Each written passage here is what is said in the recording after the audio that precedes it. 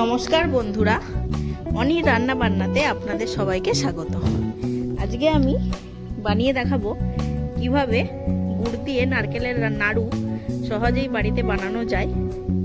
লক্ষ্মী পুজো, কালী পুজো, যে কোনো পুজো বাড়িতে আপনারা বাড়িতেই গুড়ের নাড়ু বানিয়ে ঠাকুরকে দিতে পারবেন। তাহলে দেখে নেওয়া যাক আমি কীভাবে গুড়ের নারকেল নাড়ু বানিয়ে থাকি।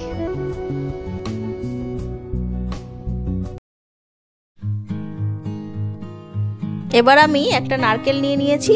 নারকেলটাকে ভালো করে খোসা ছাড়িয়ে এবার নারকেলটাকে একটা দায়ের সাহায্যে দু টুকরো করে নেব।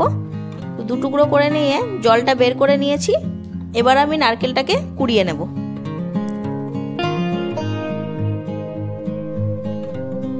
এবার একটা নারকেল কোড়া নিই আর একটা থালা নিয়ে নিয়েছি।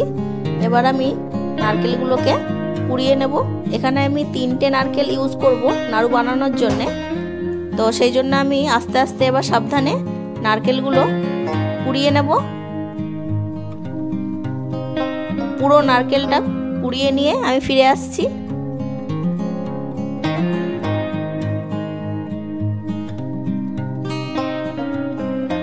তিনটে নারকেলকে ভালো করে আমি কুড়িয়ে নিয়েছি।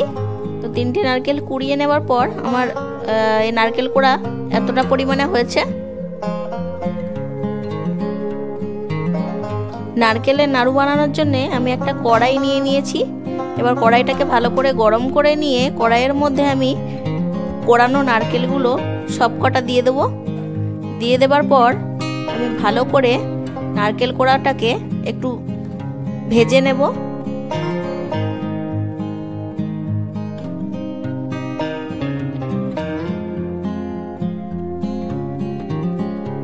নারকেল কোড়া একটু ভালো করে ভেজে নিতে হবে। তো আমি নারকেলটাকে একটু লাল লাল করে ভেজে নিচ্ছি। একটু ভেজে নেওয়ার পর আমি নারকেলের মধ্যে গুড় অ্যাড করব।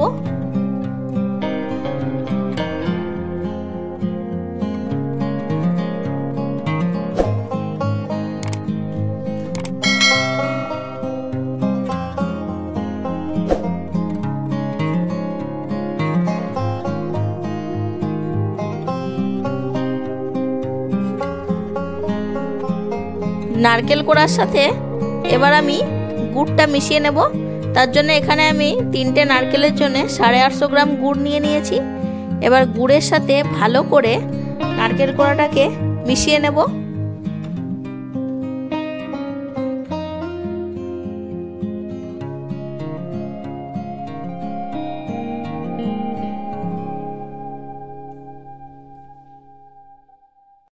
এবার নারকেলটার সাথে গুড়টাকে দিয়ে ভালো করে পাক দিতে হবে। গুড়ের সাথে যত ভালো করে নারকেলের পাক দেওয়া হবে, তত ভালো নারকেলের নাড়ুটা তৈরি হবে। তো এবার আমি ভালো করে পাক দিতে থাকব। বারবার নেড়ে চেড়ে দিতে হবে।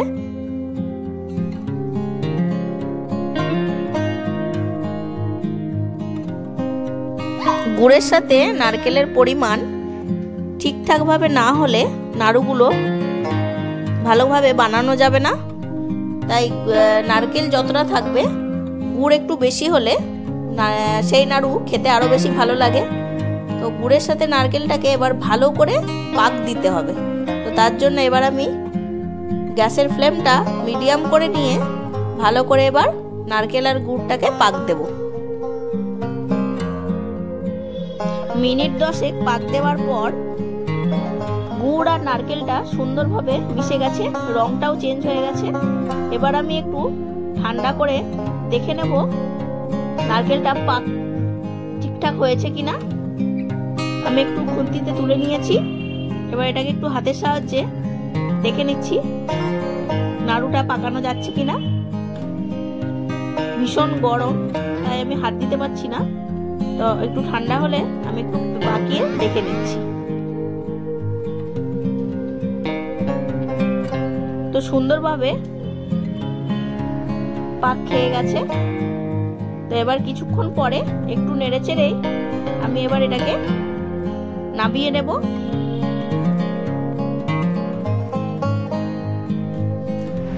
এবার নারকেলের পুরটাকে একটা প্লেটে ঢেলে একটু ঠান্ডা করব।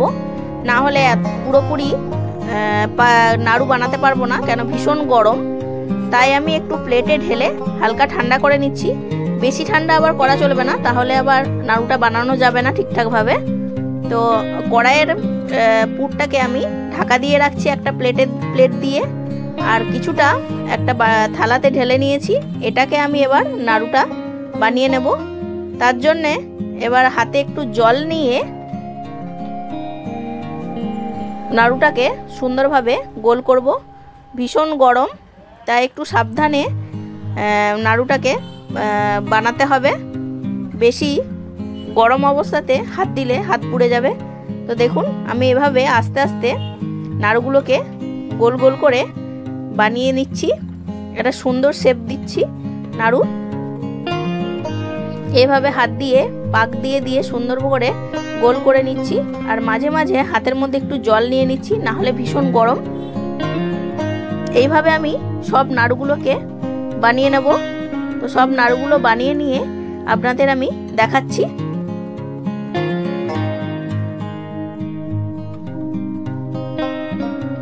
সব নাড়ুগুলো বানানো হয়ে গেছে। তো আপনারাও এইভাবে বাড়িতে ট্রাই করবেন। আশা করি ভালো লাগবে। আমার এই রেসিপিটি আপনাদের যদি ভালো লেগে থাকে, তাহলে আমার চ্যানেলটিকে লাইক শেয়ার অ্যান্ড সাবস্ক্রাইব করে দেওয়ার অনুরোধ রইল। আর পাশে থাকা বেল আইকনটি প্রেস করে অল করে নেবেন, যাতে করে আমি কোনো ভিডিও আপলোড করার সাথে সাথেই আপনাদের কাছে নোটিফিকেশন চলে আসে। তাহলে আজকে এই পর্যন্তই। আবার আপনাদের সাথে দেখা হয়ে যাবে পরের কোনো নতুন ভিডিওতে